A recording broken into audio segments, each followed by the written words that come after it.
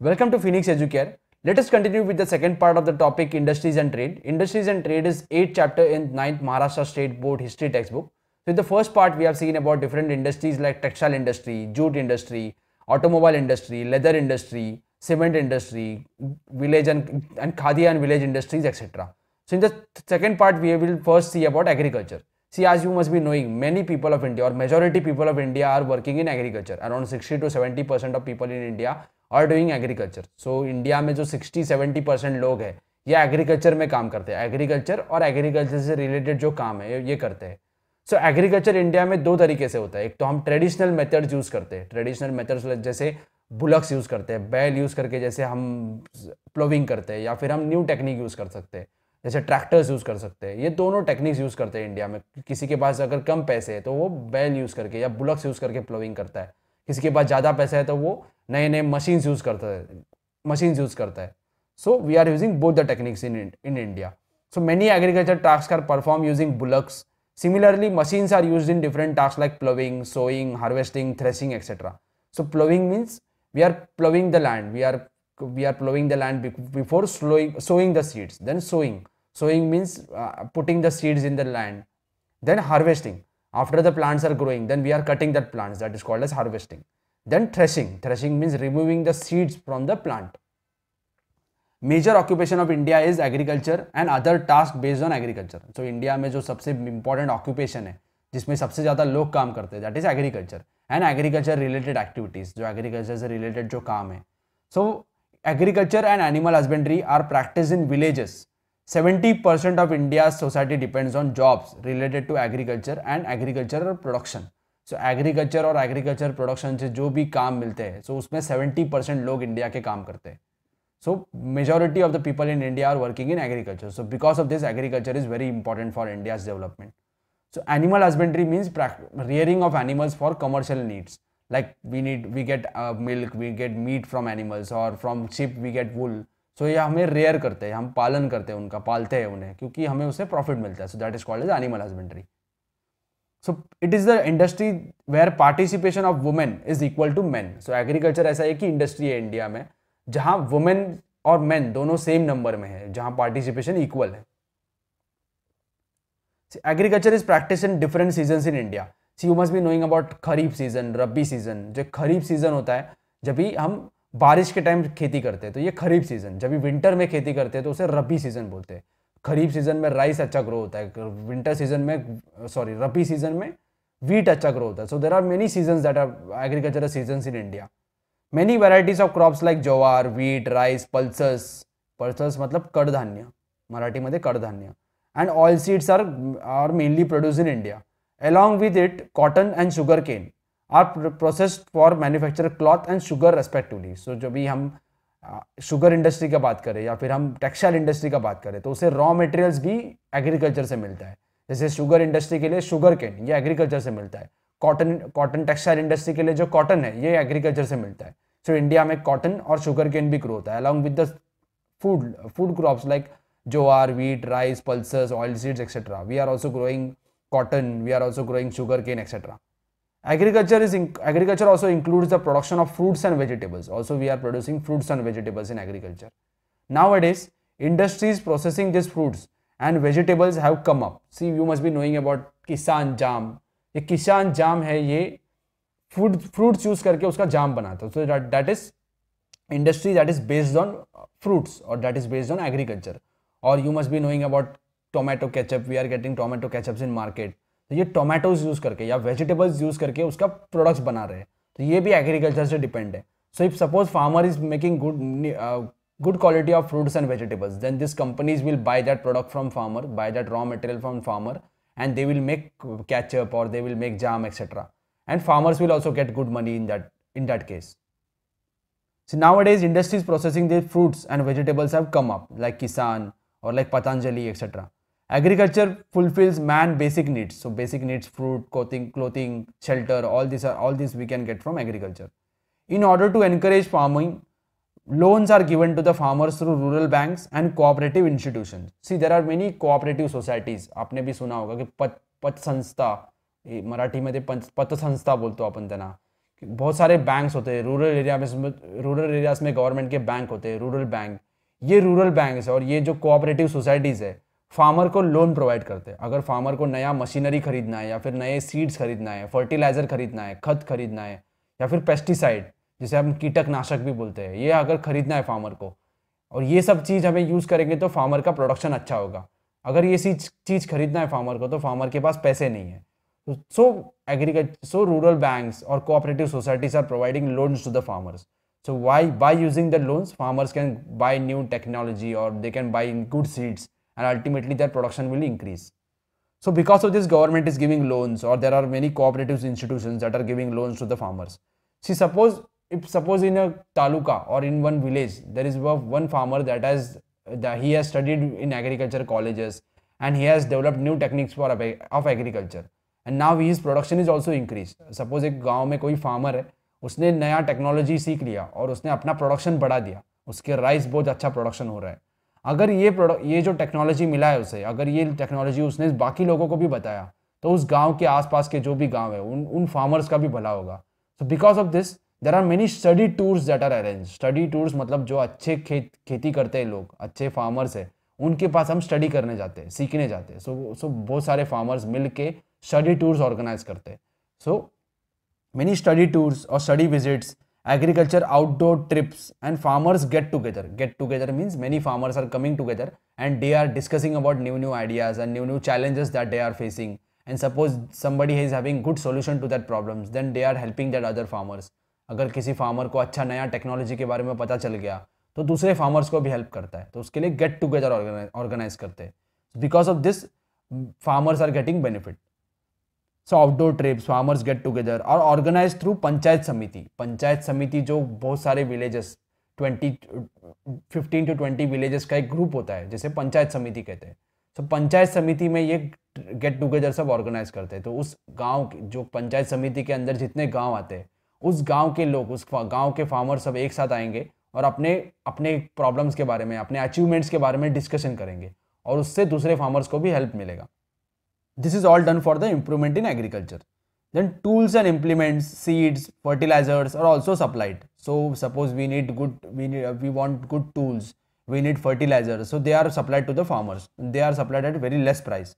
The farmers are given training regarding soil testing, nursery of fruit plants, pisciculture, poultry, cattle, goat rearing, dairy farming, etc. So farmers are also giving given training regarding soil testing अगर हम soil को test करें तो हमें पता चल जाएगा कि ये सॉइल में कौन सा क्रॉप अच्छा ग्रो कर सकता है।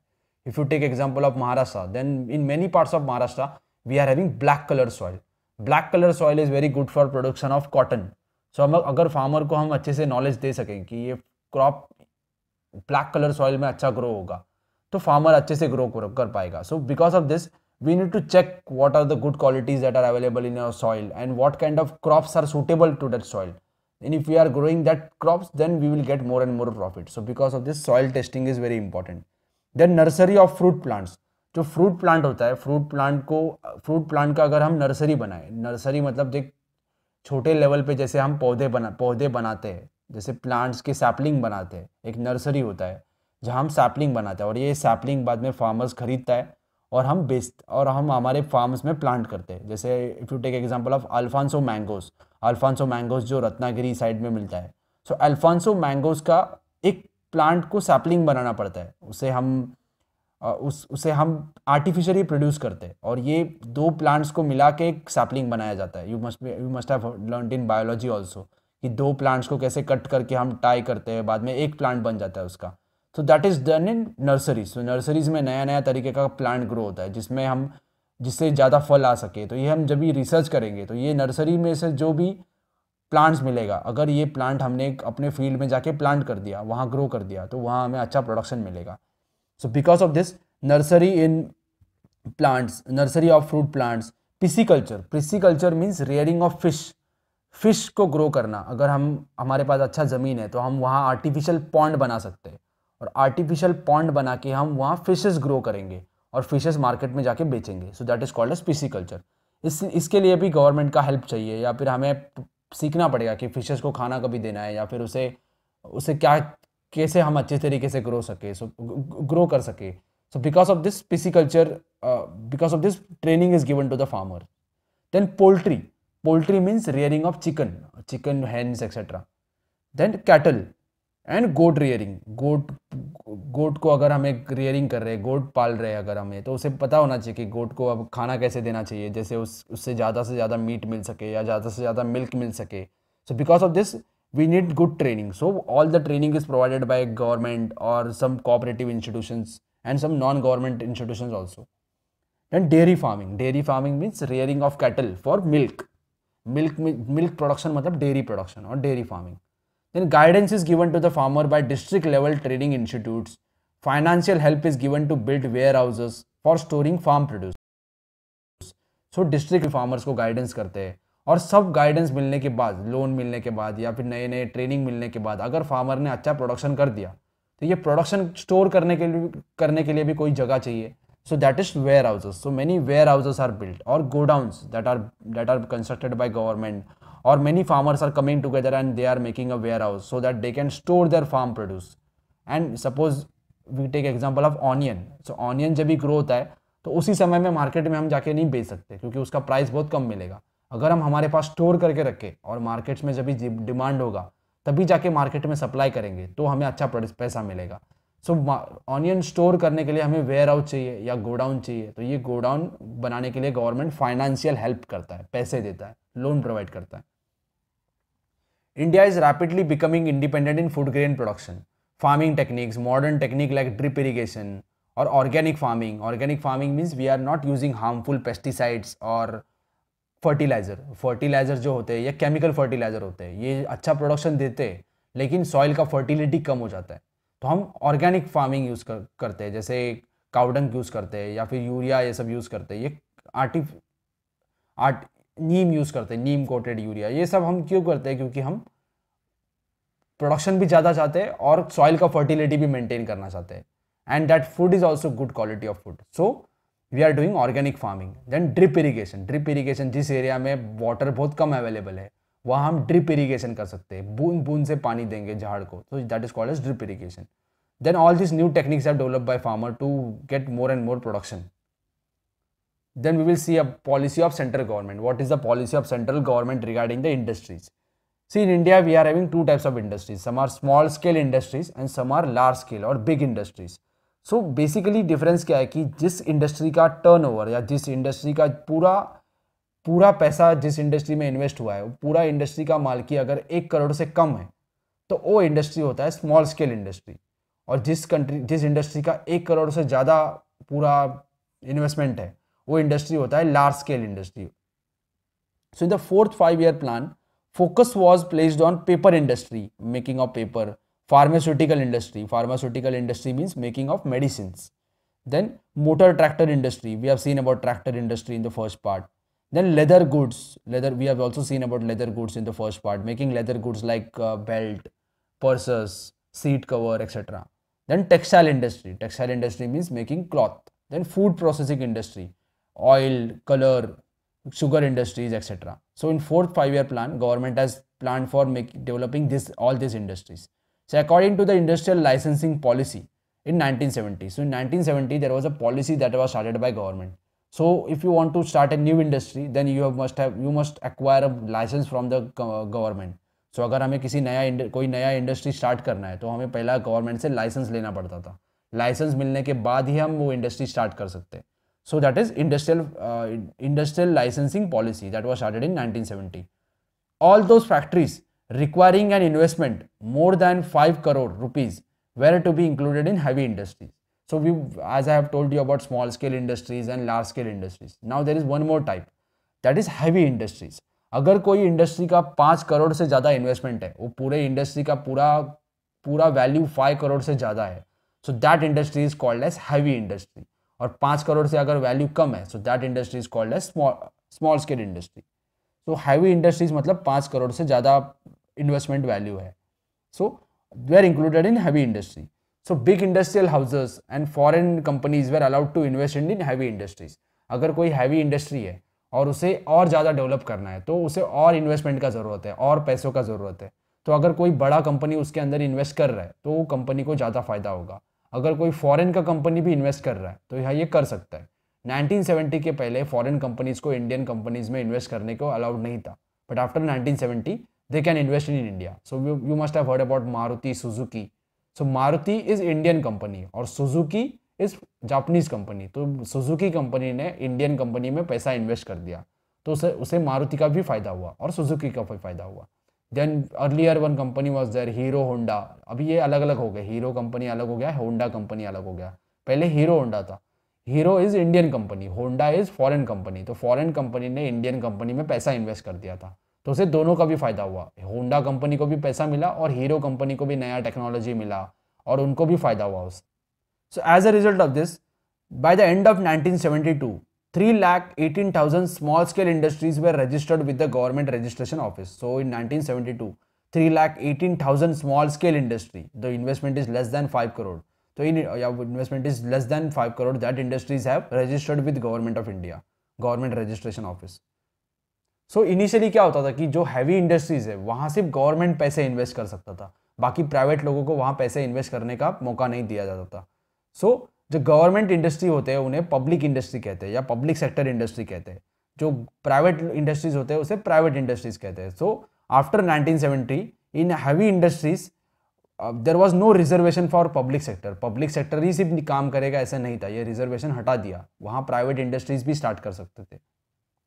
Then next is mineral wealth The availability of minerals, iron, coal plays an important role in industrial development of our country. So we are having very good quantity of iron, coal in India. So yeah, iron or coal is very important for the industrialization of India. So because of this iron and coal, our industries are very much good developed. We have adequate stores of iron, manganese, coal, mineral oil in our country. Next is forest industry. So government has reserved many forests for the industries based on forest. So there are many industries that are based on forest. जैसे एक small scale industry के example ले सकते हैं कि bamboo use करके हम basket बना सकते हैं। तो that is also based on forest so forest का रॉ मटेरियल यूज़ करके हम इंडस्ट्रीज़ में यूज़ कर रहे हैं। So that is forest industries there are big industries also like paper making making of paper so paper is made from wood and wood is collected from forest तो ये forest government reserve करके रखता है। ये reserve किया हुआ है industries के लिए। इस फॉरेस्ट में से जो भी रॉ मटेरियल मिलेगा, जो भी, जो झाड़ में, झाड़ यूज़ करके हम जो वुड के आइटम्स बनाएँगे या फिर हम पेपर बनाएँगे तो ये फॉरेस्ट रिज़र्व करके रखा हुआ है इंडस्ट्रीज़ के लिए। Then the task of conservation of forest is done by central government so central government state government and local people they are all involve in conservation of forest और in protection of forest people forest are necessary for the raw material for industry like construction paper newsprint silk match boxes medicinal herbs honey lacquer raw material needed for paint so ये सब चीज़ है, इसका raw material forest से आता है। जैसे if you take example of raw material like construction so construction के लिए जो बाम्बू यूज़ होते हैं, ये हम फॉरेस्ट में से लाते हैं। नेक्स्ट इज़ पेपर पेपर बनाने के लिए जो वुड यूज़ होता है, ये भी हम फॉरेस्ट से लाते हैं। जैसे मैच बॉक्सेस बनाने के लिए जो हम, जो लकड़ी होता है मैच स्टिक के ऊपर, ये लकड़ी भी हम फॉरेस्ट से लाते हैं सॉफ्ट वुड से बनाते हैं। Then newsprints silk silk we have seen about silkworm so silkworm जो सिल्क सिल्क मिलता है, ये फॉरेस्ट में से सिल्क वॉम मिलता है। Then medicinal herbs there are many medicinal plants in forest so by using that forest by using that plants we can make medicinal medicine so that are medicinal herbs then honey honey is collected from forest areas so honey हम forest forest में से collect करके बाहर market में बेच सकते हैं। Then lacquer lacquer is a polish जब भी हम वुडन को पॉलिश करते हैं वुडन आर्टिकल्स को पॉलिश करते हैं ये पॉलिश बनाने के लिए लैक्योर लैक्योर से पॉलिश बनाते हैं, या फिर ये नेल पेंट्स में भी यूज़ होता है नेल पॉलिश में भी यूज़ होता है। Then raw material needed for paint paint बनाने के लिए जो रॉ मटेरियल्स चाहिए, ये भी फॉरेस्ट से मिलते हैं। So there are many goods that are made from forest so because of this forest industry forest resources are very important then fisheries fisheries include sea water fish and fresh water fish found in lake canal ponds and lake So there are two types of fisheries. First is that, that fishes that are found in river, river water, pond water or fresh water and fishes that are found in uh, sea water or salty water. So harbors have been built or old harbors have been redeveloped. Harbors मतलब जहाँ fish हम fish पकड़ने के लिए हम जाते हैं fish catch करने जाते हैं जैसे मुंबई है मुंबई में भाऊचा धक्का एक जगह है या फिर कोंकण कोस्ट में भी बहुत सारे जगह है दापोली हरणे कि ये सब जगह पे हम फिशेस कलेक्ट फिशेस पकड़ने जाते हैं। तो यहाँ से हम फ़िश कलेक्ट करके वहाँ हार्बर में लाते हैं और वहाँ से पूरे कंट्री में या पूरे महाराष्ट्र में हम सप्लाई करते हैं। So harbours have been built और old harbours have been redevelop fish seeds incubation centres so अगर हमें फ़िश को खुद घर में या घर के पास हमें अगर फ़िश प्रोड्यूस करना है तो हम आर्टिफिशियल पॉइंट बना के आर्टिफिशियल एक लेक बना के वहाँ फिशेस को रेयरिंग कर सकते हैं। तो उसके लिए फ़िश का एक सीड मिलता है या फिर फ़िश के एग्स मिलते हैं। ये एग्स को अगर हम आर्टिफिश एग्स को अगर हम बना सके या मार्केट में बेचने के लिए लाएँगे तो ये फार्मर्स वो कलेक्ट करके वो फ़िश को ग्रो कर सकता है। So that is fish seed incubation centres and fish industry training centres have been provided for growth of industry so because of this we need to train farmers how to take care about of that fish how we can grow more and more fish so ये इसलिए training चाहिए। तो ये training भी government provide करता है और बहुत सारे प्राइवेट ऑर्गेनाइजेशन भी है जो प्रोवाइड कर ट्रेनिंग प्रोवाइड करते हैं। तो अगर अच्छे से ट्रेनिंग मिला गो फार्मर को then he can get more and more production from fisheries next important industry is tourism so India has a rich cultural heritage there are places of worship और different religious that are found in India so India is culturally very develop country India का culture पूरे world में famous है. So so, बहुत सारे लोग world से India में कल्चर एक्सपीरियंस करने आते हैं. सो there are many important places in India like uh, we are having worship places of very uh, different religious uh, religions like we are having Hindu temples we are having Muslim mosque we are having Christian churches also Buddhist monasteries ये सभी लोगों का important pilgrimage site India में है तो इसलिए बहुत सारे लोग वर्ल्ड में से इंडिया में आते हैं then pilgrimage centres confluence of river confluence of river मतलब जहाँ दो रिवर एक दूसरे को मीट करते हैं दो से ज़्यादा रिवर्स एक दूसरे को मीट करते हैं उसे कन्फ्लुएंस कहते हैं if you take example of India, then one of the most important confluence of river is confluence of river Ganga Yamuna and Saraswati जिसे हम त्रिवेणी संगम भी बोलते हैं। ये इलाहाबाद में उत्तर प्रदेश में जहाँ तीन रिवर मीट करते हैं एक दूसरे को। ये बहुत इंपॉर्टेंट प्लेस है हिंदू हिंदूज के लिए। तो यहाँ बहुत सारे लोग पिलीग्रीमेज करने जाते हैं वहाँ दर्शन करने जाते हैं। Then forts we are having different forts forts like red fort in Delhi Agra or we are having forts of Shivaji Maharaj. So where pe many people are coming and they are visiting that forts. Then caves, बहुत सारे गुफाएँ अजंता एलोरा में या फिर ऐसे वो India में बहुत सारे केव्स है जो फ़ेमस है जहाँ बहुत सारे टेम्पल्स भी है वहाँ लोग घूमने जाते हैं then all over the country tourist from all countries as well as from abroad tourists from our country also and tourists from abroad also from foreign countries are also coming in india they are coming throughout the year This the, the facilities for tourists to stay, travel, etc. are provided to Tourism Development Corporation of India. So there is one organization called as Tourist Development Corporation. So that is making all the facilities like hotels, uh, places where they can travel. They are developing that places. Sale of curios. Curios means decorative items. And hotel industry thrives in tourist places. So there are many uh, many shops for shops of decorative items or there are many hotels in tourist places. So suppose i am going in delhi and i am going as a tourist in delhi then i will uh, first of all I have, I have to go and stay in some hotel and then i will uh, while coming back i will buy some decorative items from delhi. So both the industries hotel industry also and the shops that are selling some beautiful decorative items they are getting jobs because of uh, in tourism. So both of the industries are dependent on tourism. In some places there are guides who give information about the tourist places. You must have you must be knowing about guides. Whenever we are visiting some historical place or whenever we are visiting some museum then there are guides who are giving us information. And they are getting money from uh, money because of that information. Uh, after the information is given we are giving them money. So guides ko bhi kaam milta hai usse. And tourists about the area. Some sometimes when vehicles don't reach the destination in some remote and difficult to reach tourist places local people help the tourists in return for the, return for their fee.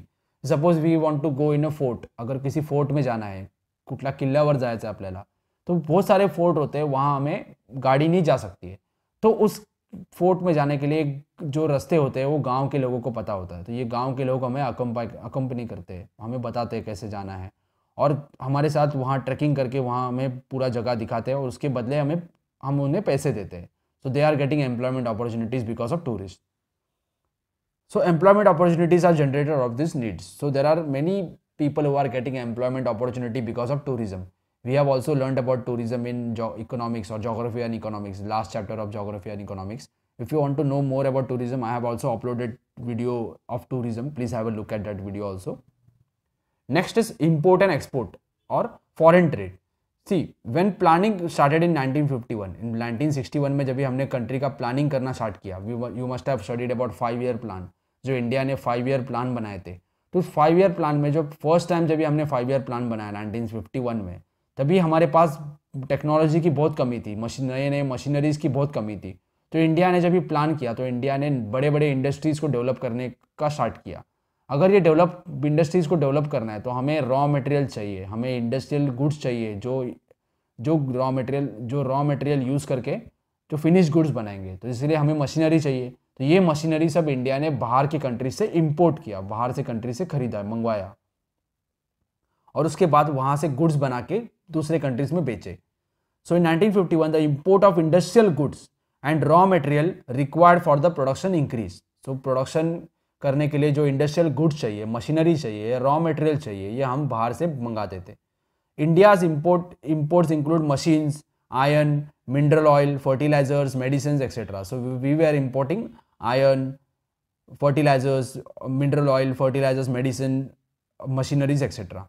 India also gives impetus to export after independence in order to gain valuable foreign exchange. So after independence, we were also exporting our goods to other countries. We are giving impetus, we were giving encouragement to the people to export goods to other countries. If we are exporting goods to other countries, then we will get foreign exchange. अगर हम किसी country को अपने चीज़ बेच रहे तो वो country उनके करेंसी में हमें पैसा देगा। तो ये हमारे पास कंट्री में, हमारे गवर्नमेंट के पास, हमारे रिज़र्व बैंक के पास वो पैसा स्टोर रहेगा। That is called as foreign exchange I have given example earlier also I will repeat that example suppose we are selling something to America और we are selling something to London और Britain then people from Britain will give their money to us and they will buy that goods they will exchange pound with us and they will buy buy those goods और हमारे country में तो pound नहीं pound चलेगा नहीं। तो हमारा government pound अपने पास रखेगा रिज़र्व बैंक अपने पास रखेगा और वो पाउंड के बदले हमें रुपीज़ देगा। तो ये जो पाउंड कंट्री के पास स्टोर है that is called as foreign exchange so if we are exporting more and more goods if we are doing favourable balance of trade then we are getting more and more money we will get more and more foreign exchange so we are exporting goods like tea coffee spices cotton textile leather footwear pearls pearls मतलब हीरे जो होते हैं, मोती होते हैं। या फिर precious stones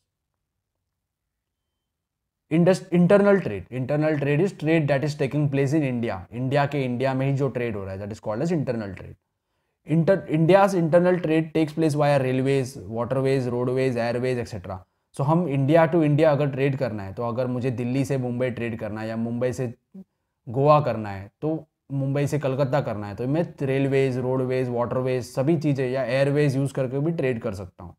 So ports like Mumbai port मतलब जहाँ से हम शिप से ट्रेड कर सकते हैं। Ports like Mumbai Kolkata Cochin Chennai are important commodities like coal cotton commodities means like goods goods like coal cotton cotton textile rice wheat raw jute raw jute मतलब सिर्फ़ धागा होता है जूट का, जिसे प्रोडक्शन नहीं करते प्रोडक्शन नहीं बनाया होता, ये रॉ जूट बोलते हैं।